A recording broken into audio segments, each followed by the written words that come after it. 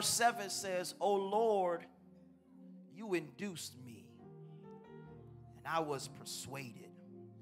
You are stronger than I and have prevailed. I am in derision daily. Everyone mocks me. For when I spoke, I cried out, I shouted violence and plunder, because the word of the Lord was made to me a reproach and a derision daily. Then I said, then I said, then I said, I will not make mention of him, nor speak any more of his name.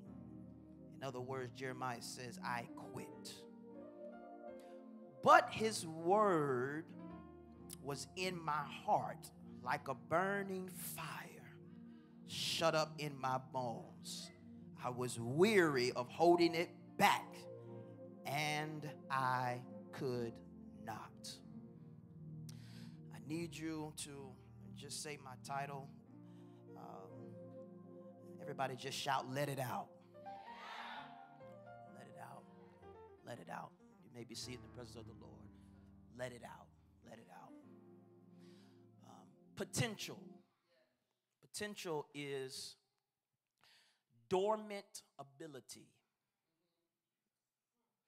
It is reserved power. It is untapped strength. Potential is unused success. It is hidden talents, capped capabilities. Potential is all that you can be, but you have not yet become. All that you can do, but you have not yet done. Potential is how far you can reach, but you have not yet reached. What you can accomplish, but you have not yet accomplished. Potential is unexposed ability and concealed power. Potential is therefore not what you have done, but what you are yet able to do. In other words, what you have done is no longer your potential. What you have successfully accomplished is no longer potential. Listen, people of God, what you must understand is that there is a great deal of potential on the inside of you. Tell somebody there's a lot of potential in me. Here's the point you have to grab tonight, and that is in order for our great potential to be released, we must die to ourselves. Now, before we jump to the B clause of this thesis, let's consider uh, this part about great potential because not everyone believes they have great potential. However, you must understand the potential principle. To simplify this concept, let's look at one of the most powerful elements in nature a seed. One definition of a seed is a material used to start something. Hmm. Dr. Myles Munroe uses the great example. He says, If I held a seed in my hand and asked you, What do I have in my hand? what would you say? Perhaps your answer would be obvious a seed. However, if you understand the nature of a seed, your answer would in fact be fact, but not truth. The truth is, I hold a forest in my hand. Why? Because in every seed there is a tree, and in every tree there are fruit and flowers with seeds in them. And these seeds also have trees that have fruit, that have seeds, that have trees, that have fruit, that have seeds. Are y'all with me here? So, in essence, what you see is not all there is. What you see is not all there is. That is potential.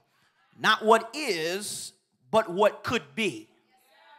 You see, that's why um, we need not surround ourselves with people who can only see what we used to be or only see our current situation and struggles because what you see is not all there is to me. I need y'all to push me because I don't feel it. Uh, God created everything with potential, including you. He placed the seed of each thing within itself. Genesis 1 and 12. And the earth brought forth grass, the herb that yields seed according to its kind, and the tree that yields fruit, whose seed is in itself according to its kind. And God saw that it was good. And he planted within each person or thing he created the ability to be much more than it is at any moment. Let me back up and say that again. Whatever God has created, He created it with the ability to be more than it is at any moment. I don't care what level you reach in your life, I don't care what degree level you reach in your life, uh, what status and income you reach in your life, there is more that God has on the inside of you. Potential, potential is always present waiting to be exposed. It demands that you never settle for what you have accomplished. Woo, Lord have mercy. Uh, never settle for what you have accomplished. Uh, when you study, you study the writings, come on, mind. When you study the writings of Paul, Paul says, I am forgetting those things which are behind. Uh, now, whenever we think about that, we think that Paul is saying, I'm forgetting the negative things of my past. But no, Paul was saying, I'm forgetting my bad and my good. I'm forgetting my accomplishments as well because if I continue to dwell on my accomplishments, I will never go forward and get what the next thing is that God has prepared. That's some of y'all problem because some of you, you just got too good of a resume. And because you have too good of a resume, there's this spirit of entitlement that rests upon you. Uh, the truth of the matter is, we don't care what you have accomplished when you have so much more to accomplish. I help somebody. You are not yet what you're supposed to be. Though you may be pleased with where you are now, don't accept your present state in life as final because it is just your current state. Touch your neighbor and say, It won't be like this always. Uh, yes, sir. Yes, sir. It won't be like this always. And if you would just just say these words and try not to shout. Everybody shout, "My now is not my forever."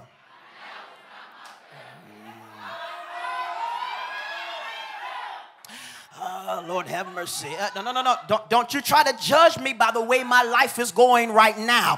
Uh, because this ain't it. No, no, no, no, no, no, no. I know what you see right now, but this is not it. With the potential that God has placed on the inside of me, ain't no telling how high up I'm getting ready to go. But I can reassure you that this ain't it.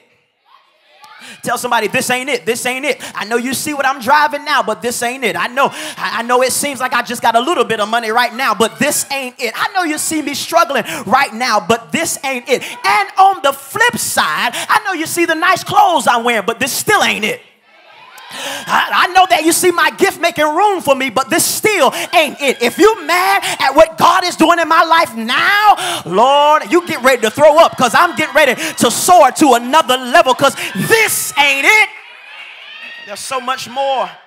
There's so much more that God has for me. I'm almost done. The potential that you possess requires that you never settle for what you have. Never accept failure. But then again, never accept success.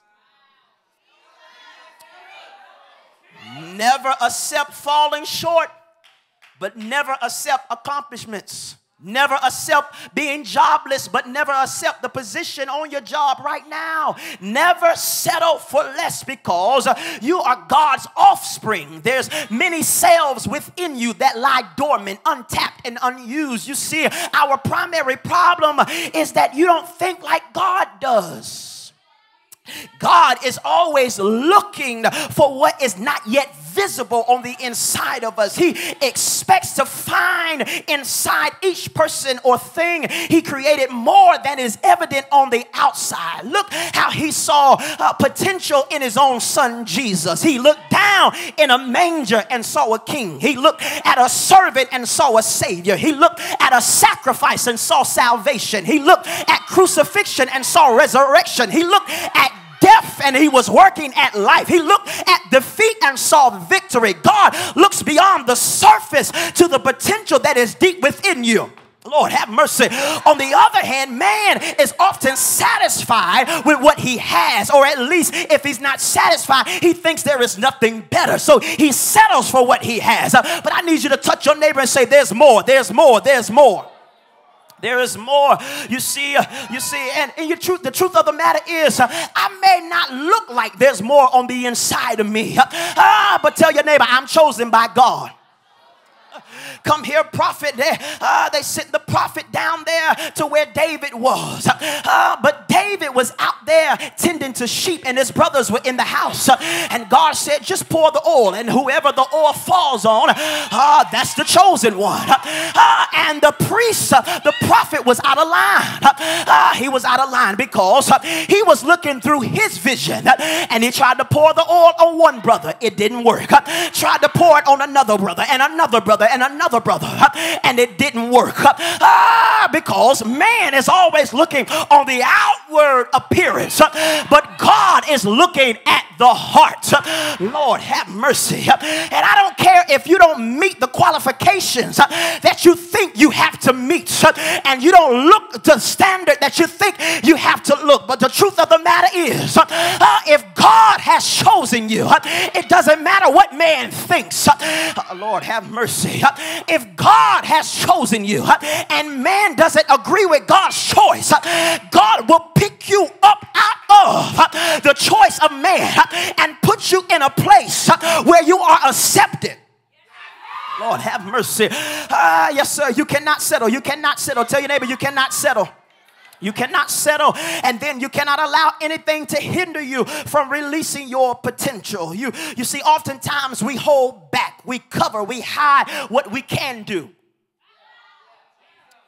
We hide what we're willing to do. We hide what we've dreamed of doing because we allow our potential to be hindered.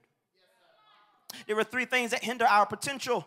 We're going to hit these three and then we're going to be out of here. The first thing that hinders your potential is people. Lord have mercy. First thing that hinders your your, your potential is people. People, uh, and you got to understand because people have personal agendas. They, they, they, they, have sneaky ways. They have nasty attitudes, and they got a lot of mouth. And it has kept many of us from releasing the potential on the inside of us. That's why you better be very close uh, or very careful who you allow close to you. Uh, you better be very careful who you allow in your circle of influence. Uh, you have to be careful uh, how you reveal your dreams to people. Uh, uh, you, you have to watch who you fellowship and eat out with. You have to be careful who you, y'all ain't talking to me, socialize with. you even have to be careful who you church with. Oh, Lord, have mercy. come here, First Corinthians 15 and 33. Be not deceived. evil communications, bad company corrupts good manners. Can I talk to some of you all who are always running to a place of feeling like you're inadequate because some people won't talk to you and some people don't seem to want to accept you? The truth of the matter is they can't accept you because they can't handle the level God's getting ready to take you to. Lord, have mercy. Ah, don't get mad because that group got their little clique and they don't want to let you in. Uh, well, go do what you want to do because maybe there's something greater that God has in store for me. Can I tell you something uh, from personal experience? God ain't going to let you be a part of cliques when you're born to be a leader. Uh, no, no, no, no, no, no, no. So you're going to have to get used to being rejected, get used to be pushed to the side because the potential that's on the inside of you, if you connect with them, you will connect with the very ones that are set up to stab you in the back.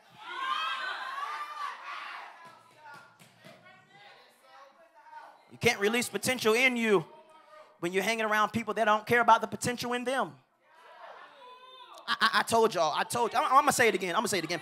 You, you, you, you can't release the potential on the inside of you if you keep hanging around people who don't care about the potential in them. I told y'all the other day, you need to look at your friends and find out why they always broke. You need to look at your friends and find out why they don't never get their hair done. They don't never, they don't never clean themselves up. They don't, they, they ain't never trying to do nothing. Don't never want to go nowhere. Ain't never trying to get a degree, a degree. Ain't never trying to up their education. They don't want to do nothing. I'm trying to figure out why they still your friend. You need people, you need people around you who can sense and see the potential on the inside of you. Ah, come here, Mary, Jesus. They don't ran out of wine. Uh, and Jesus says, All right, mama, what you telling me this for? Because it ain't my time yet. Mary turns around anyway and tells the workers, the servants, she says, Whatever he says, do, do it. Why? Because Mary, not seeing anything that Jesus has done, but she can see the potential on the inside of him. Oh, Lord, have mercy. Uh, touch your neighbor and say, Neighbor, you got me in your corner and you're getting ready to turn water into wine. I'm going to push you to the next level. Lord, have mercy. You need some people around you who believe in you enough that when you say, I can't right now, they said, Yes, you can.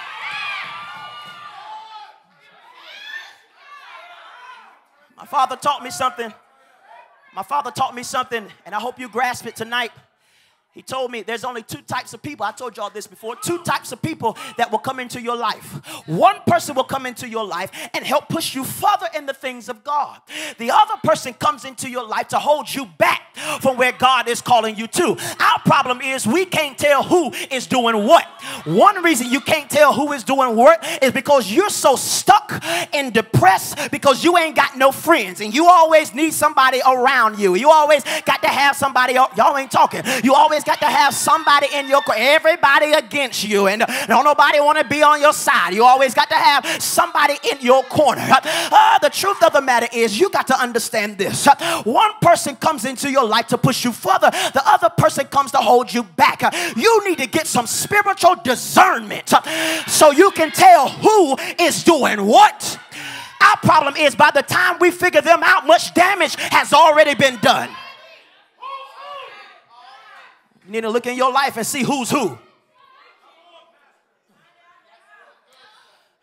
The second hinderer of our potential, the first hinderer of our potential is, is, is people. People. And, and Jeremiah clears this up because Jeremiah says, listen, you, you, you overpowered me you, you, you overpowered me. You, you pushed me to do this. Uh, and and, and you, you, you got me looking like a public joke. You, you, you got me looking crazy. I'm out here saying what you told me to say. I, I'm pouring out of myself everything that you told me to do, God, and you got me out here looking crazy.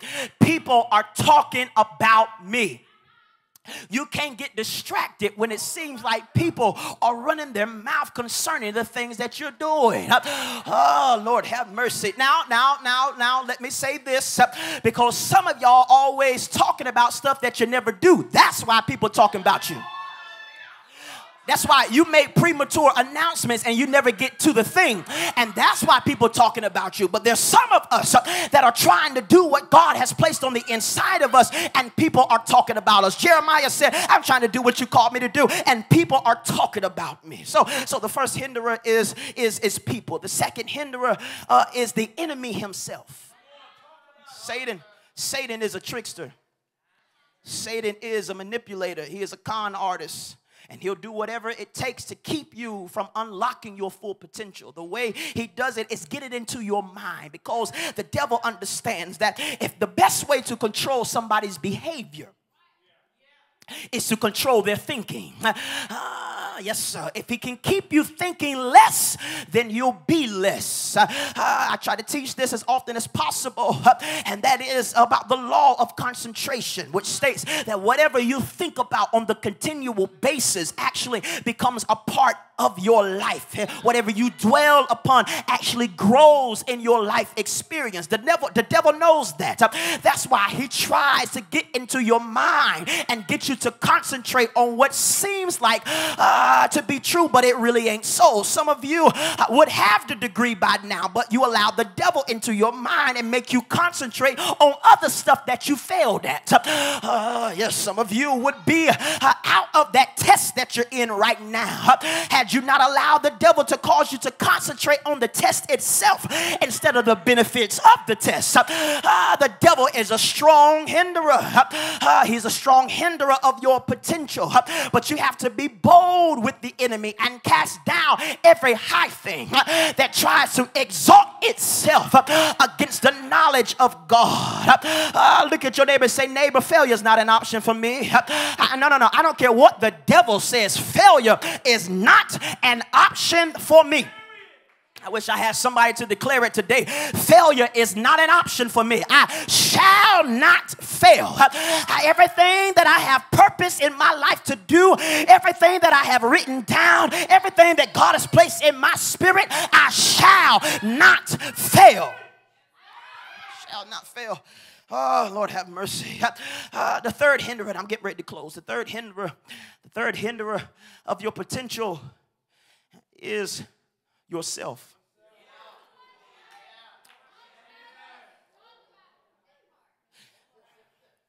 Our own will. If I don't hoop, you'll be all right. Our own ego, our own prestige, our, our own desires, our own plans, our opinions, our reputations, our self confidence, our natural affections our own thoughts, our words, and our lives cause our potential to be hindered from exposure. That's why I told you in the beginning that in order for our great potential to be released, we must die. Lord, we, we must die to ourselves. Now, it's not a physical death, natural death, but it is a spiritual death. You, you have to die to yourself. If you want God to grant you a freshness in your life, Lord have mercy. If you want God uh, to start something new in your life, you must die to your old ways, your, your old desires, your old way of thinking. Our problem is we keep battling with ourselves daily, but we keep letting our flesh win over our spirit man. Oh, Lord, have mercy. Uh, you see, it is the flesh that keeps pushing you to the place uh, where you want to play victim in your life. Uh, Lord, have mercy. Y'all ain't talking to me here, but uh, that's the problem with a lot of you, and that's why everything everything that God has given you is still on paper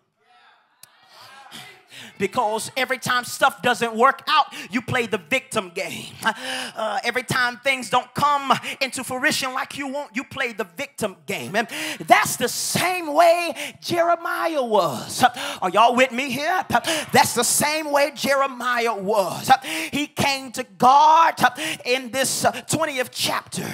He comes to God and he says, God, you push me into this and I let you do it. You, you were too much for me. You made me a public joke. They, they poke fun at me. Every time I open my mouth, I'm shouting what you told me to shout. Uh, ah, but, but it's just not turning out the way I thought it was going to turn out. And so Jeremiah starts playing the blame game and he blames it on people. He blames it on God himself. He keeps playing the victim And the truth of the matter is uh, Jeremiah needed to look within himself. Uh, oh, Lord, have mercy.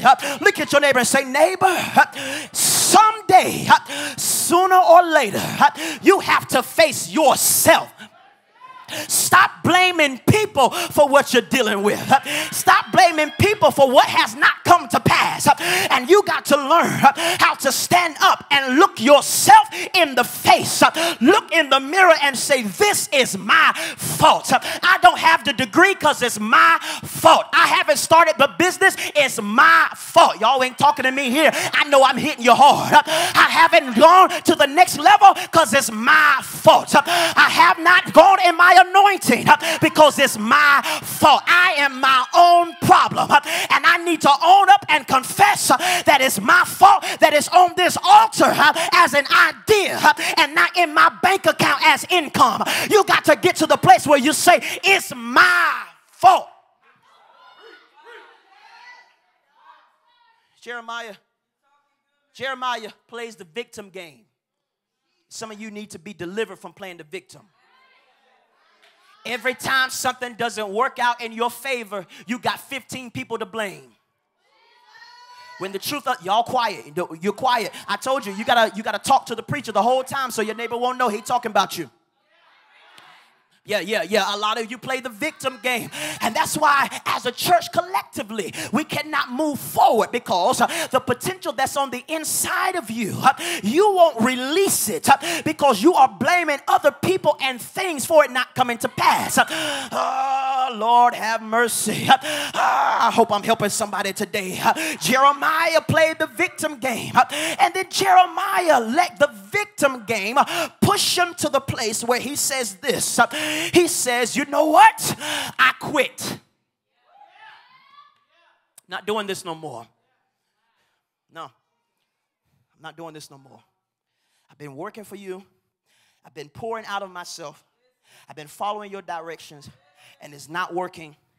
I quit. God, here's my resignation. I will not make mention of your name anymore. I quit. Some of you, you're not saying it, but you're in the same place right now. Because of your inactivity, which stops your progress, you have said to God, I quit.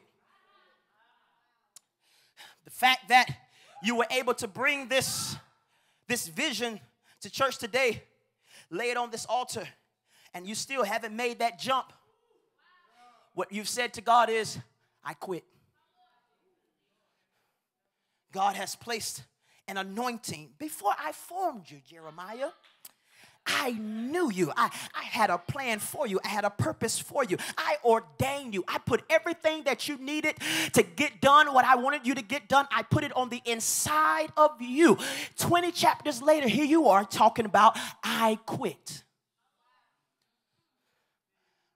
How many of you in this room tonight had made up your mind that you quit. Some of you are supposed to be in ministry now. Somewhere down the line, you quit. That's why you skip church. Because conviction rests on you so heavy that you don't want to be in the presence of God because it means you have to face yourself. You quit. You quit. You quit. You, you watch this. You keep making up excuses. It sounds like this I don't know what my purpose is. When God has revealed it to you time and time again. But you keep trying to play the blame game so you won't have to walk in what God, you're looking for every excuse you can use. So you won't have to walk in what God has called you to do. Jeremiah said, You know what? I quit. Jeremiah sat down.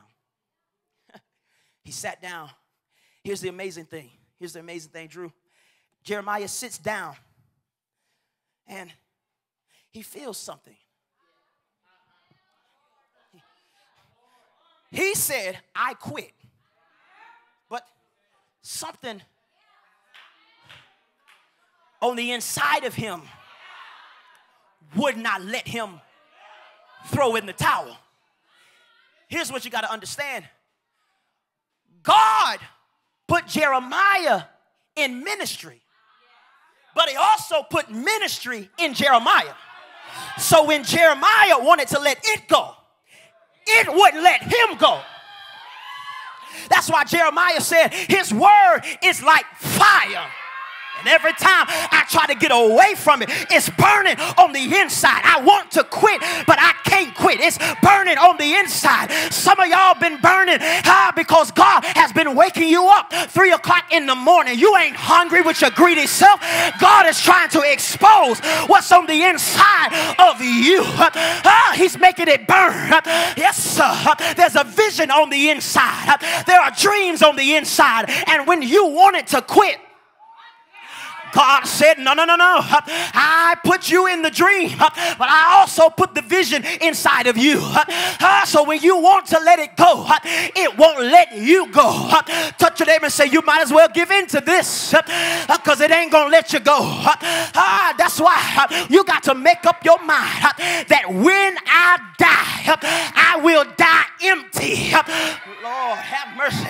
Everything that God has put on the inside of me, I'm I'm going to make sure I give birth to it. Oh, have mercy. Ah, God's getting ready now uh, to push you into a place of labor. Uh, oh, yes, sir. I speak that prophetically over this room today. Uh, that God's getting ready to push you to a place of labor. Ah, yes, sir. I want you to understand ah, what you're feeling in your spirit right now. The conviction you're feeling in your heart right now. The burning sensation is the contractions. Because God's trying to let you know that what I put on the inside of you, sooner or later, it's got to come to pass. Lord, shake your neighbor's hand and say, Neighbor, there's too much in me for me to give up now. I refuse to quit. Lord, have mercy. I refuse to give up. I refuse to throw in the towel.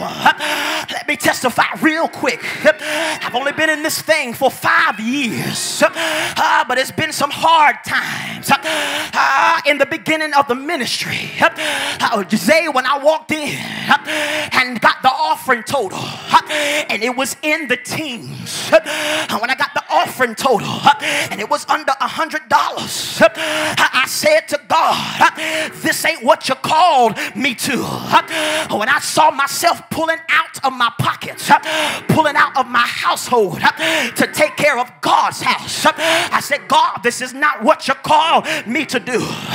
And I got to the place, Nehemiah, where I said, I might as well hang this up. I don't want to mess up the Mount Moriah brand. I don't want to mess up my daddy's name. So let me go ahead and give this to somebody else who can handle this load better than I can. And then God shook me and convicted my spirits. And He said to me, Though the vision visionary Wait on it.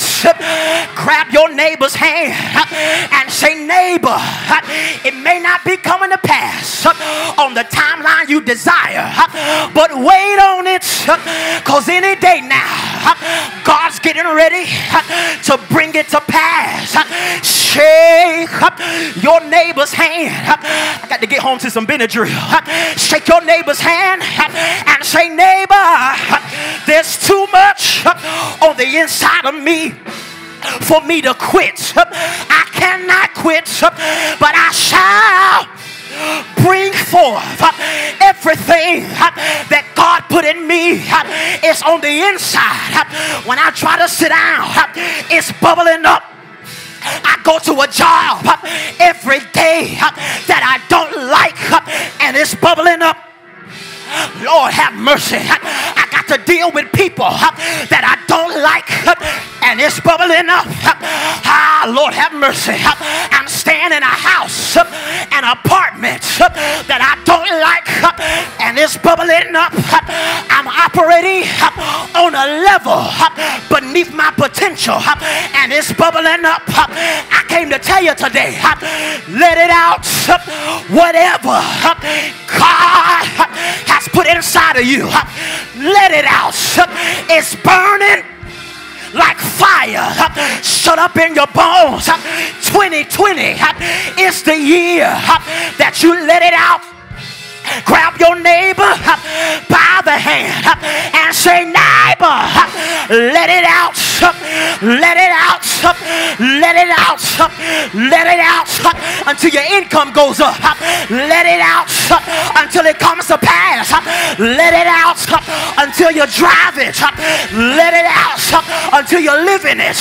Let it out until the anointing raises. Let it out until the vision comes to pass. Let it out until you're walking across the stage with the degree in your hand. Grab your neighbor and say, neighbor, let it out. What God has for you, it is for you. I got to close. But before I close, I need you to declare this on today. Just open your mouth and say, Lord, whatever.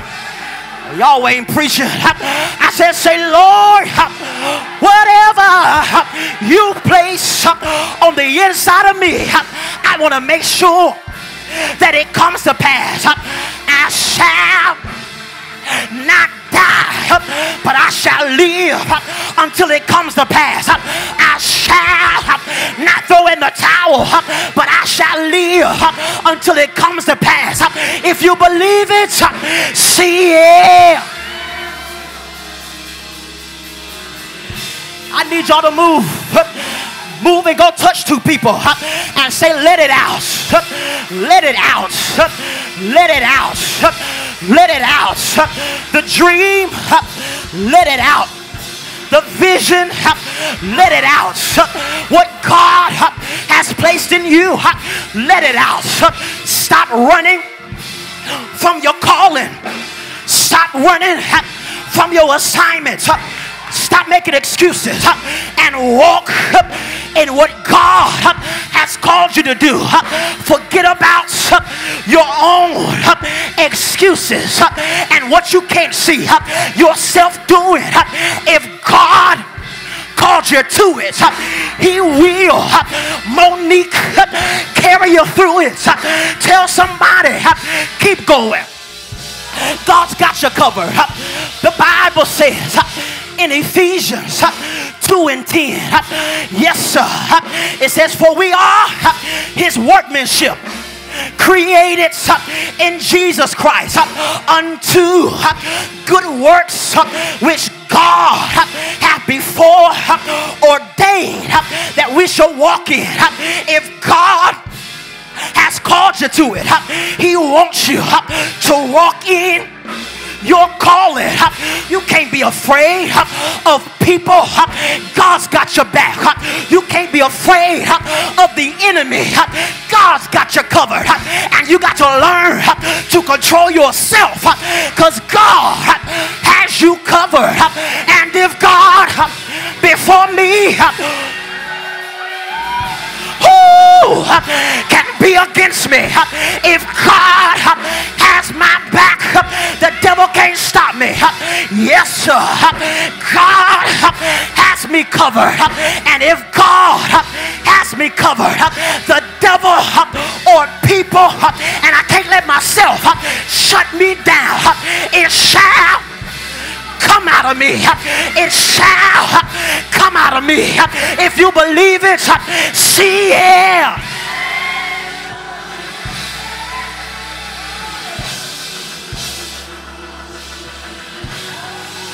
Tell somebody there's too much in me. There's too much in me. There's too much in me. I'm gonna let you go home, but there's too much in me. There's too much in me. There's too much in me. And what God for me, it is for me. What God has for me, it is for me. And he that hath begun a good work shall perform it until the day of Jesus Christ. See it.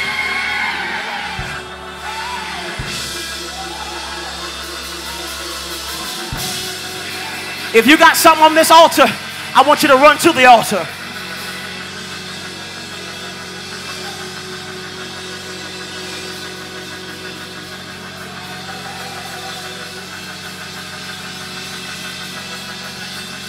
If you have a vision for your life, run to the altar.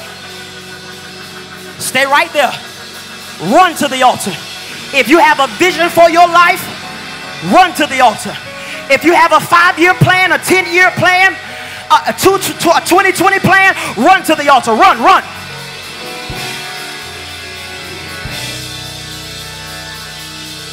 We get ready to make some declarations. Come close, come close, come close. Move, move, move, move.